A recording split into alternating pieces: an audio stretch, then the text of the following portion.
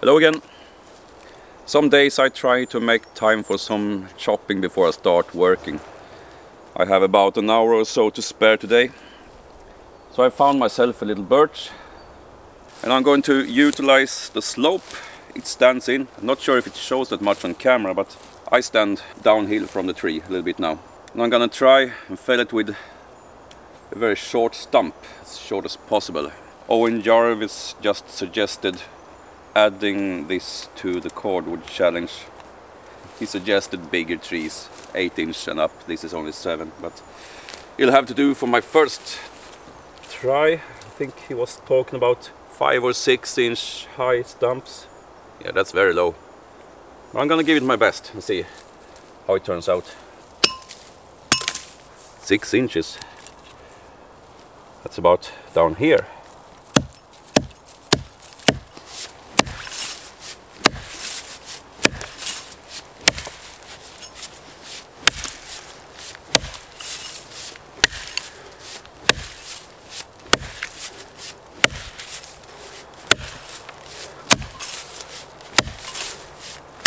Nice sitting down on the job for once.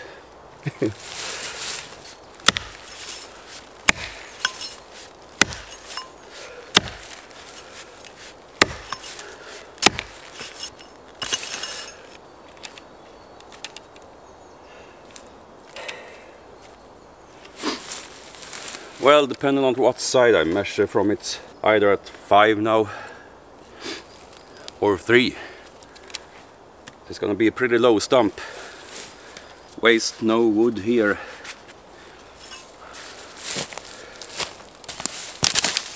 That's dead anyway. I think I'm gonna be able to leave that if I'm careful. Not that it's a prime specimen or anything, but I'll try nevertheless.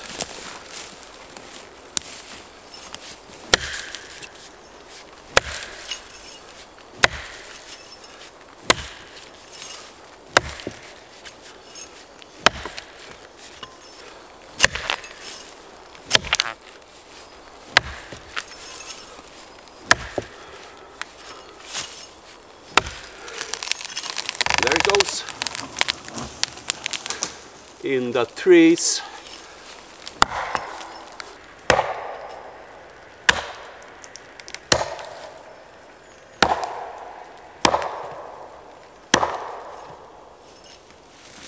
It's not that badly stuck.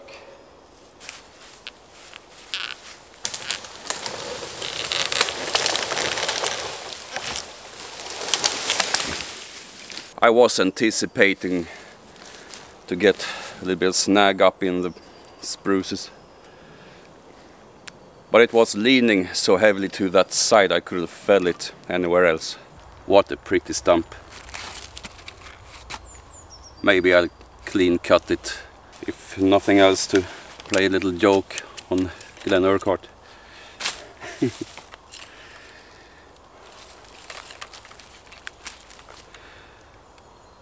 It's about 10 inches up here now at uh, the back cut. The face cut is low, I'm not sure. Maybe I should be more careful with the back cut. I'm not sure if this would count in Owen's book or not. Anyway, clean it up a bit. Just because I have nothing better to do with my time.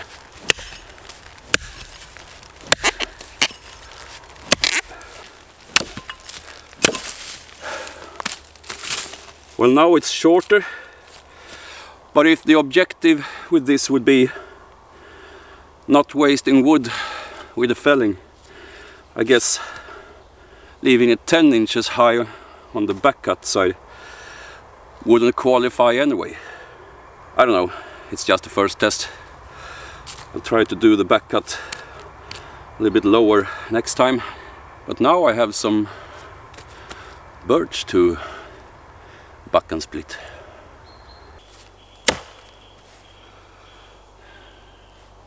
This is a hazardous situation. Maybe we should take a closer look at that. You notice the angles of the cuts and where my feet are.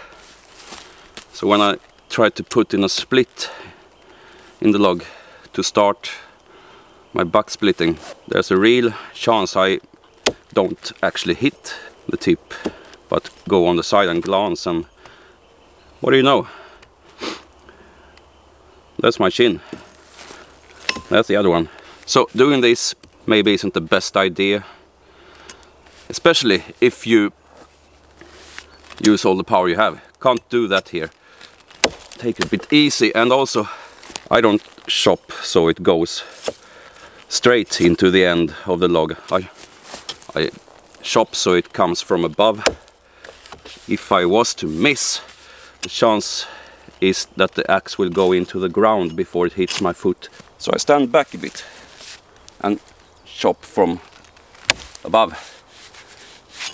If I would stand closer to the end of the log and try to hit it directly on the end, the risk is higher if I miss that I end up in an accident. I'm not sure if this could be referred to as an accident, it's just the result of stupid behavior, perhaps. So uh, I do it like this. And I don't cut with all the force I have. I take it a bit easy to maintain more control of the axe.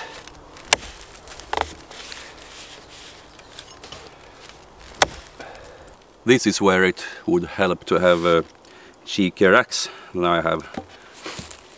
This Rinaldi has a very thin blade. If I had something with a little bit of cheekier profile with a wider angle it would be easier to split out the fire logs I'm gonna do it with this anyway because this is the axe I have with me today.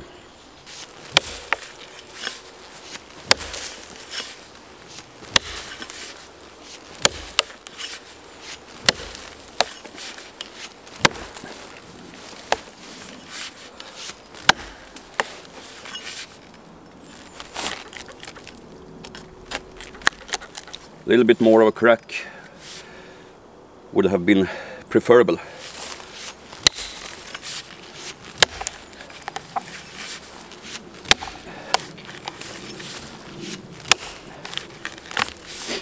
Glen Urquhart chops a lot of birch in cold temperatures.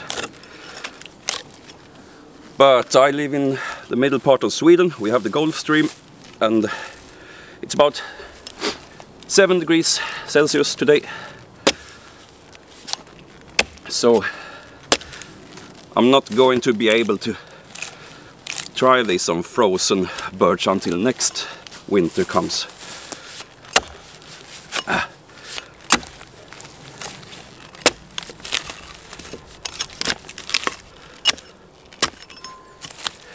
As expected, it's pretty stringy down close to the stump. I think I'm gonna use the first ones as sleeper logs.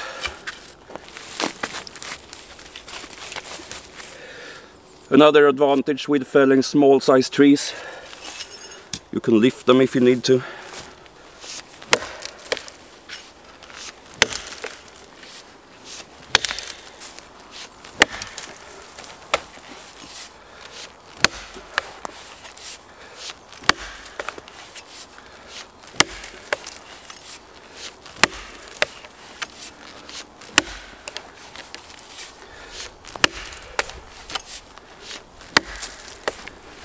Is a pretty tall order. The split ran out a bit on the far side and this thin blade doesn't split that effectively either. And it only weighs two and a half pounds. So I think I'm going to put in a secondary crack in this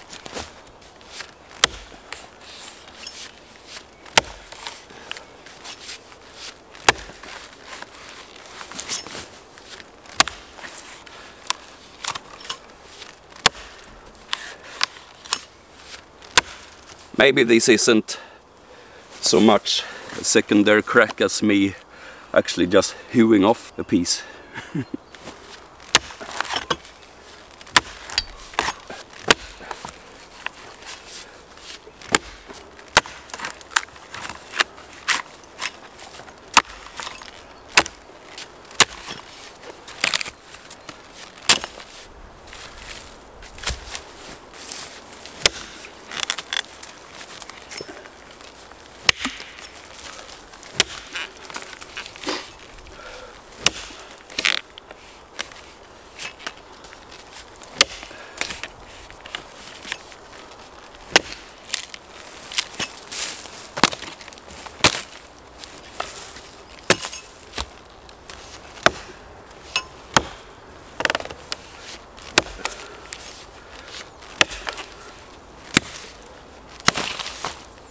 A little bit of work on the low part of the trunk.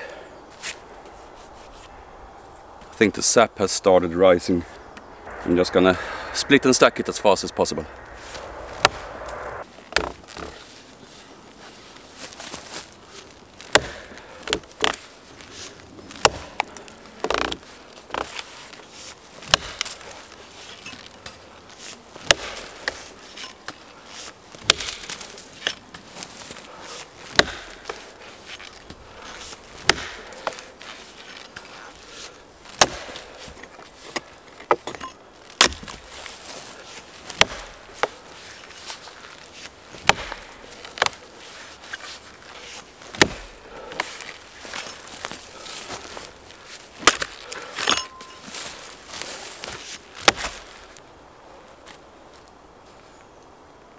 Seven degrees.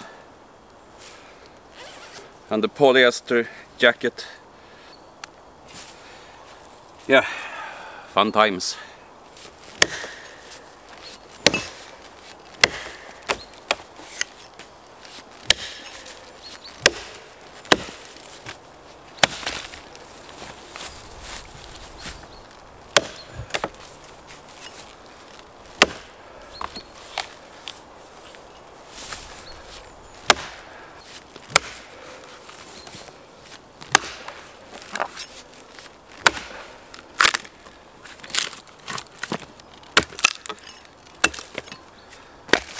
We're now leaving the stringer part of the bottom, getting up to more straight grain convenient country.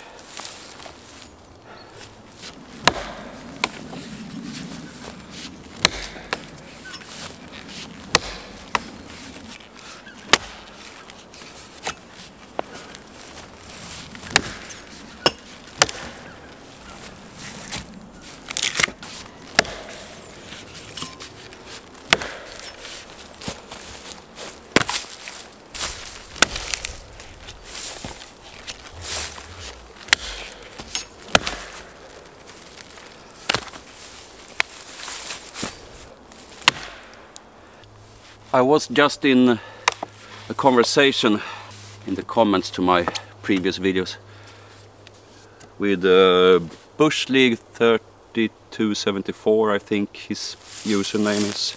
I don't know what your name is, sorry. We were talking about, or he was talking about uh, the crack running out to the sides when you do this on birch. I have noticed it before as well. I just thought my aim was off but this hit was dead in the center and it still runs off to the side a bit. I'm still not sure what to think about that. Maybe I'll just try to hit as much in the center as possible and uh, cope with a little bit of run out. So I'll chop away on this side first, put the secondary horizontal crack in on the other side and do two pieces or something with that.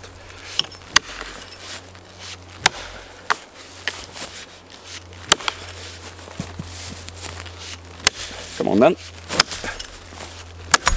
Thank you. Everyone was waiting.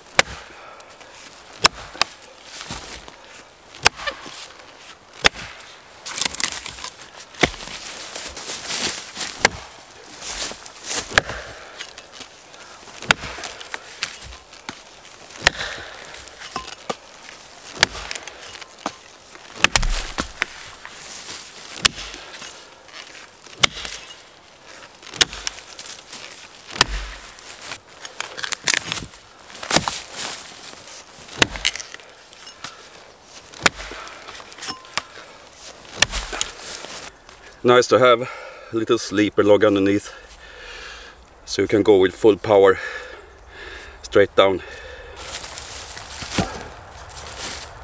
I'm about to enter the trees now. I can do a few more lengths, then I'll have to pull it out of there. Ah. One to the left and one to the right. Well, that's two quick pieces, I guess.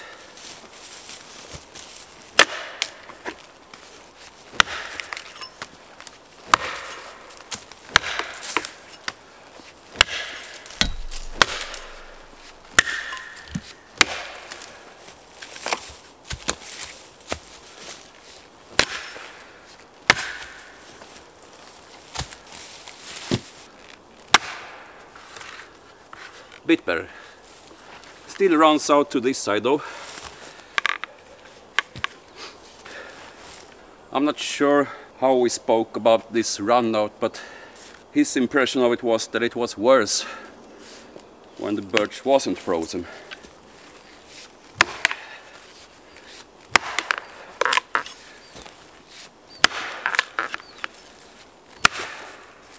I can't really test that theory until next winter not gonna have any more frozen trees to fell now.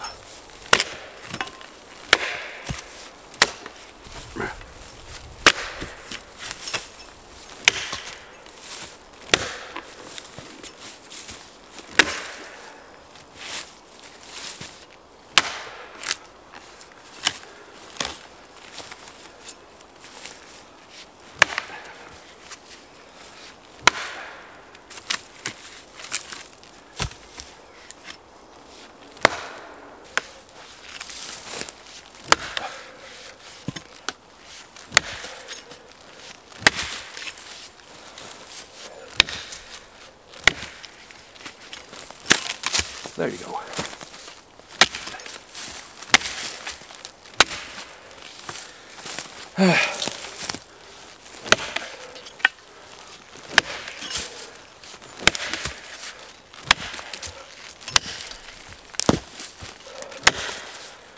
Well, as you can see, standing back a bit and cutting down rather than straight on to the end of the log is pretty helpful when you miss your mark and the log isn't that wide.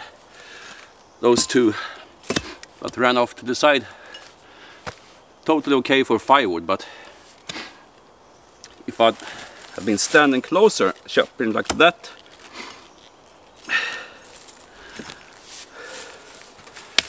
at least one of my legs would probably have been made out of wood in the future as well. I don't want that. Putting the crack in like this though I feel pretty safe. Ah, another one.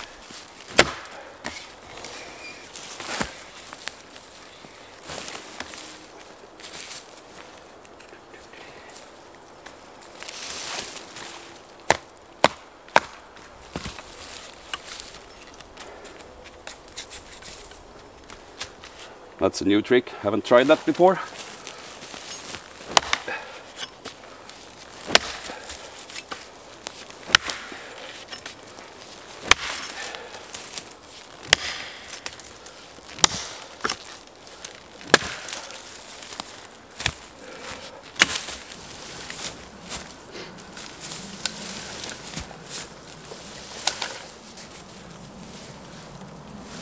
It's a bit on the heavy side. Probably quite a lot of sap in it already. Or maybe I'm just not strong enough. Bit of both, I'm sure.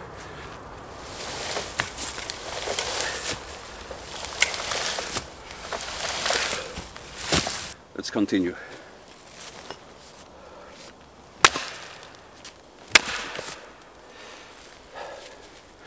I still get a lot of run out to the sides when I try to put a crack in.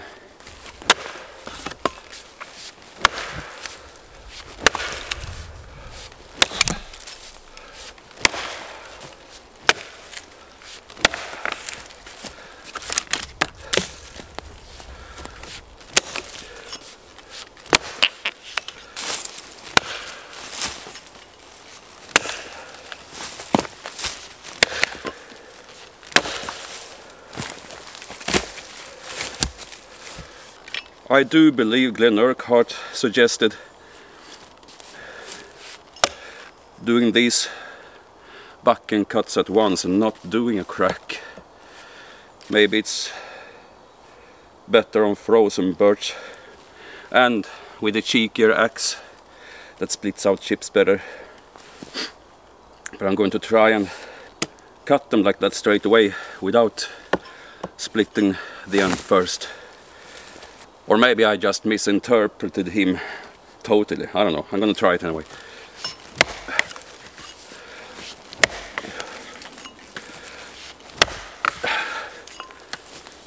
Now it runs out like that instead. Yeah, would have preferred slightly larger piece than that.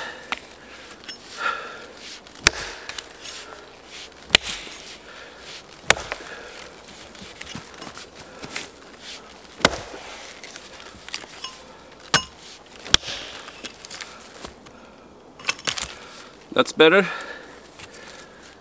It's a nice crack that runs straight from the heart, straight along. I don't know why the first one ran out.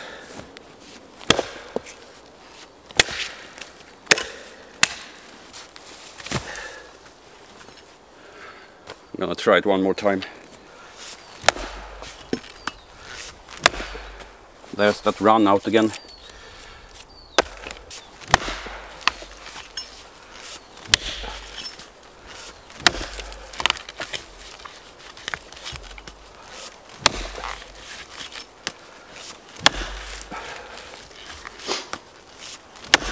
The next one is really good instead.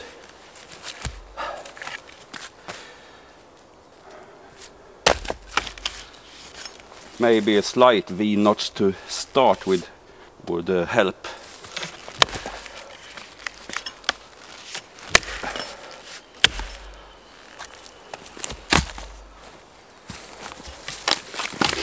Right, one more time with a V-notch this time.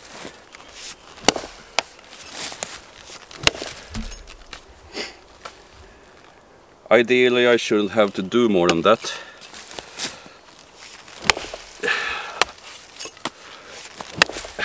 It's better, not perfect, but definitely better.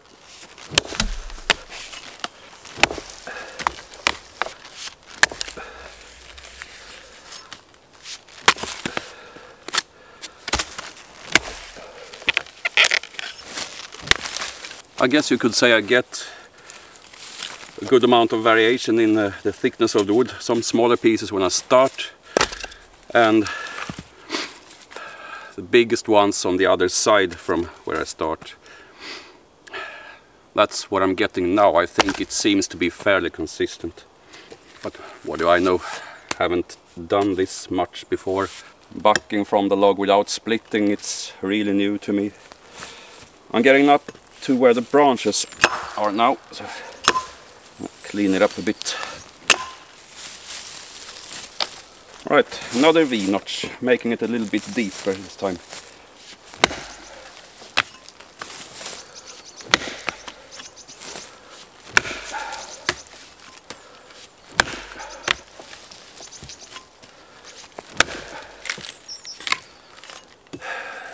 Five cuts including the notch. That's okay I guess for someone who doesn't have a lifetime of experience from this.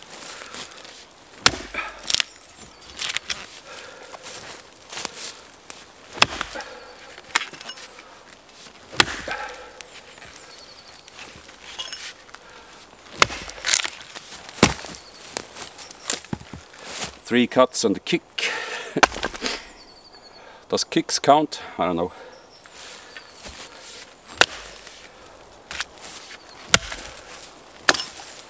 Larger notch still, I think.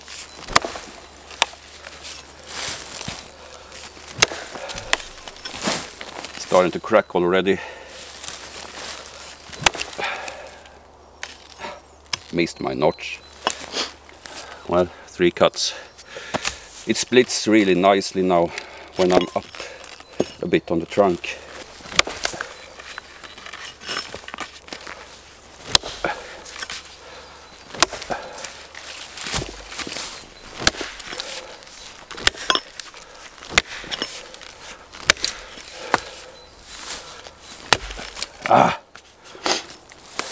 Supposed to hit the sleeper log, not the dirt.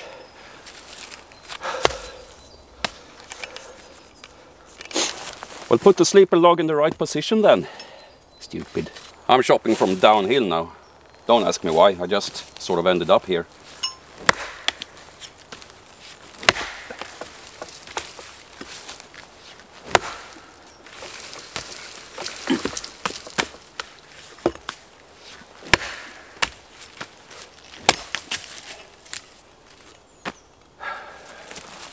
Back here. There was a fairly big knot on this side, that's why it didn't split off, I think. Now the sleeper log is in the wrong place again. There we go.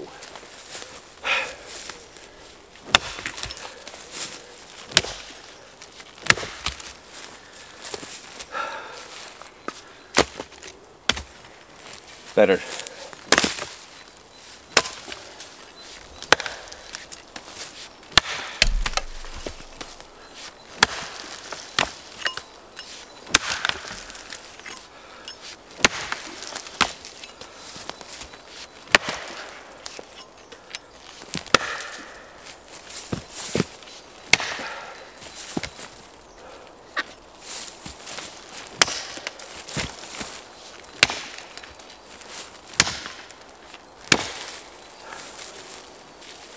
Two nice knots, one on each side.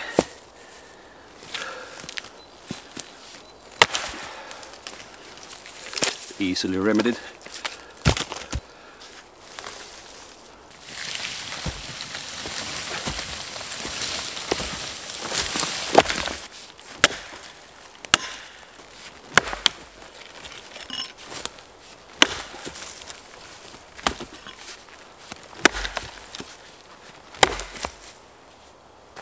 That's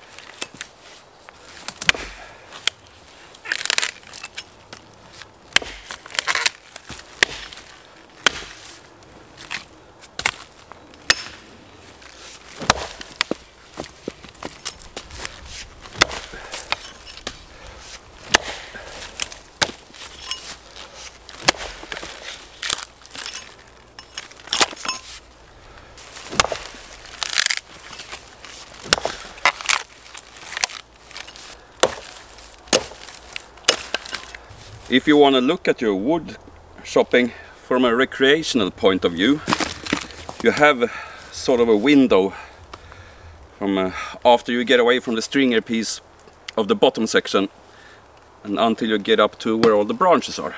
Now I don't do this purely for recreation.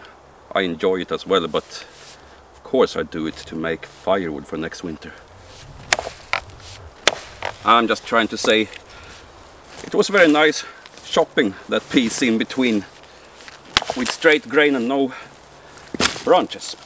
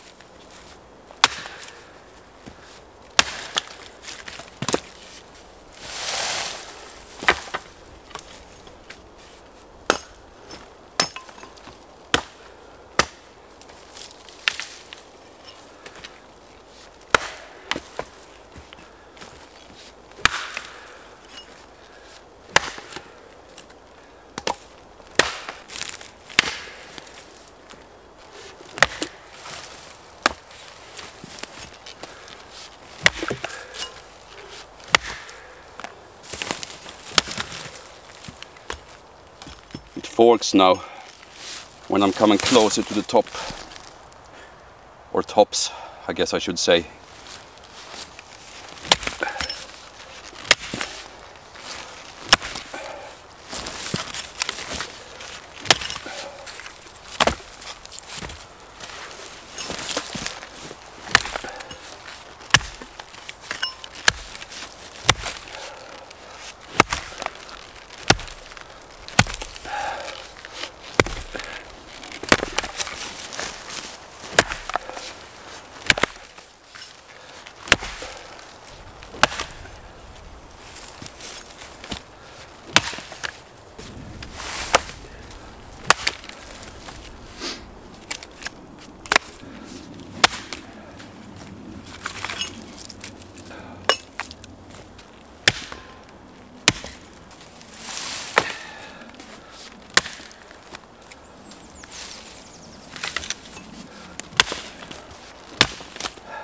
think I'm gonna leave the rest of the tops for now and just take care of what I already have here. I think I'm gonna bring a smaller hatchet someday. I've left quite a few aspen tops also from before. So I'm probably gonna do that. Bring a hatchet and perhaps a bill hook.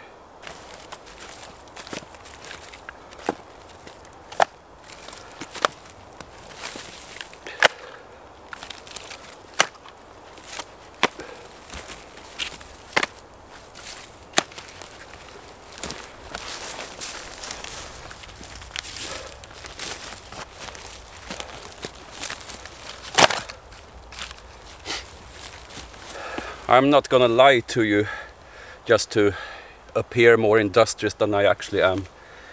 I started a little birch pile here next to my aspen pile and I already brought a bit of the newly cut wood here but the battery died on me shooting that. Maybe you can see the lighter color of the new wood from here and up. And what's underneath about half of the stack I guess that was here before. That's another small tree that I didn't shoot when I processed. I just took a couple of stills and put them on the Axe Cordwood Challenge group on Facebook. Anyway, it's stacking up quickly, tree by tree.